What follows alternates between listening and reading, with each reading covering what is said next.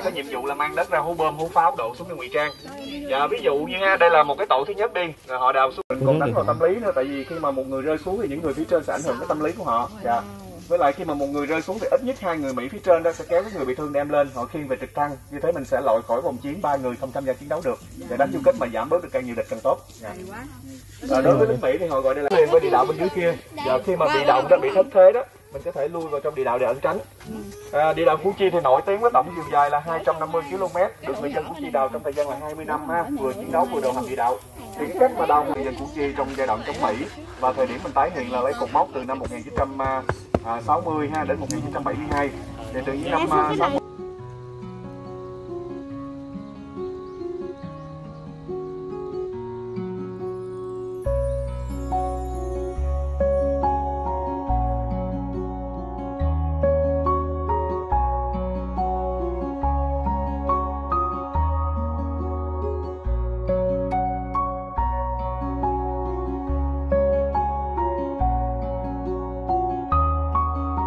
Khu vực cao thấy bên đây là vùng cấm nơi mà quân đội Mỹ càng quét đến đánh phá tự do ở đây.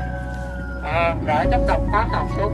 Để tiêu diệt du kích mình à, ờ, nên là mình thấy xung quanh nó có bơm rất là nhiều. Mà đâu có trái phép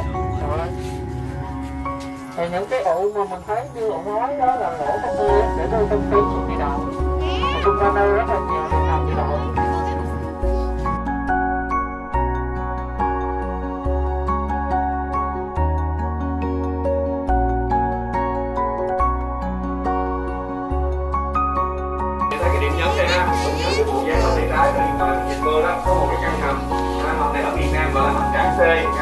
C đó.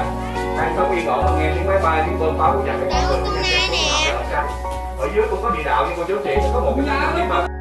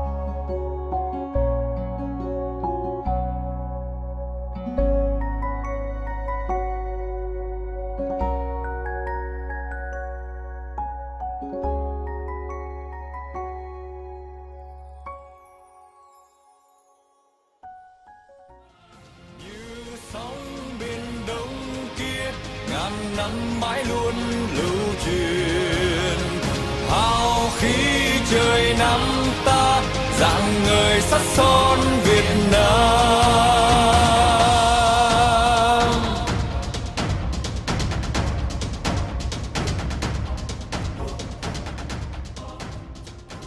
Đây là một trải nghiệm đáng nhớ của mình nhân dịp lễ 2 tháng 9. Cảm ơn mọi người đã xem hết video này. Hẹn gặp các bạn ở những chuyến đi sau. Mọi người nhớ nhấn like, share và đăng ký giúp mình để mình có thêm động lực làm những video hay và ý nghĩa hơn nữa.